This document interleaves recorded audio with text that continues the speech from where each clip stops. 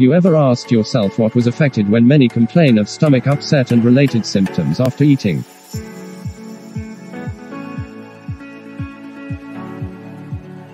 Food safety. Food safety involves any form of handling, preparing or processing and storing food to prevent infection and help to ensure we have healthy meals with sufficient nutrients needed by the body. Food items and water become unsafe when exposed to dirt, germs, microbes and other contaminants, temperature changes or improper storage conditions which may change their color, odor or taste. These diseases can make people very sick or may be life-threatening. Where unsafe food does not lead to poisoning, illnesses or disease it can lead to poor nutrition. High-risk categories include infants, toddlers, pregnant women, the elderly, sick and immunocompromised persons. Ways to ensure food safety 1. Proper hygiene. Proper hand washing is still a gold standard of proper hygiene that should be followed and done regularly.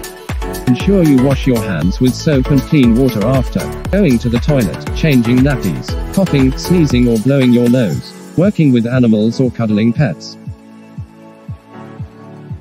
2. Proper sanitation. All surfaces, equipment and utensils should be properly washed and stored in a clean place where flies or dust can't get on them before and after use.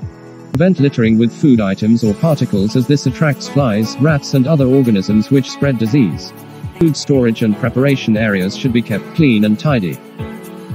3. Proper food handling and processing. Cow or goat should wash well before milking. Properly cooked or reheated but ensure to avoid overcooking and cooking food in too much water, in order to prevent loss of nutrients. Vegetables teaspoon of salt or vinegar could be added to the water to be used to wash them. Fruits should also be washed before consumption. For proper labeling. Checking of production and expiry dates for packaged food items should be your priority while getting groceries.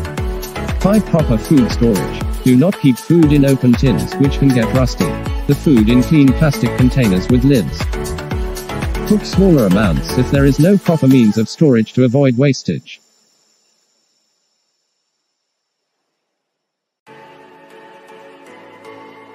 Six. Disposal of spoiled food items.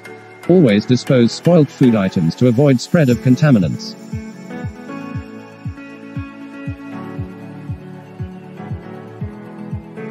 Hazard analysis and critical control point food safety guidelines should be strictly adhered to by all food handlers both at home, in eateries, restaurants, stores and food factories. Thorough investigation should done for cases of food allergies, food poisoning and food intolerance. Benefits of food safety includes reduction in cases of food contamination and poisoning, foodborne diseases and illnesses, death from foodborne illnesses and the general overall increase in good health and well-being of humans. Unsafe food containing harmful bacteria, viruses, parasites or chemical substances causes more than 200 diseases, ranging from diarrhea to cancers. 420,000 die every year after eating contaminated food. Estimated 600 million worldwide fall ill after eating contaminated food yearly. About 1 in 10 people in the world are affected by foodborne diseases and illnesses.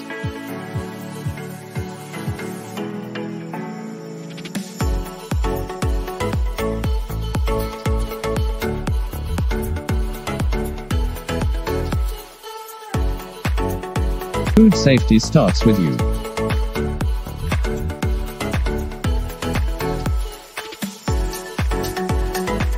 For more, kindly subscribe, like and share this video. Thank you for watching.